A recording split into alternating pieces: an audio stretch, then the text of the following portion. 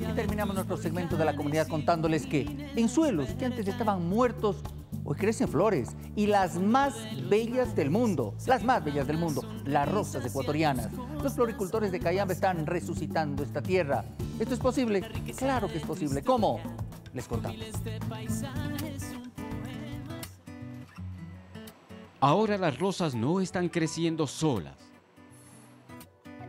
A su lado crece acelga, menta y un sinnúmero de plantas que a la vez que se protegen, protegen a las rosas.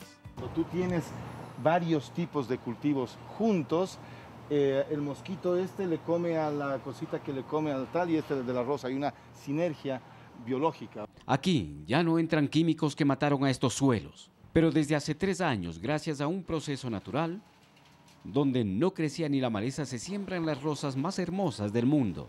Es extracto de calabaza. De aquí sacan unas eh, bacterias fototróficas que son las que regeneran el suelo y con eso es el núcleo de microorganismos para resucitar el suelo.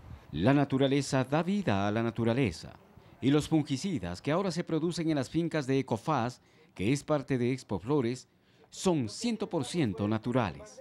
Un litro de esto cuesta 80 dólares en el mercado y tiene un nombre bien, bien elegante.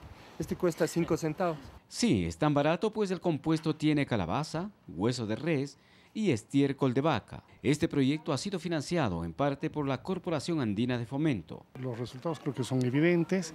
Y lo que se siembra, junto a las rosas, no solo que sirve para alimentar el suelo, sino también a los trabajadores y a los hijos de estos. En Cayambe, Nelson Carrera, 24 horas.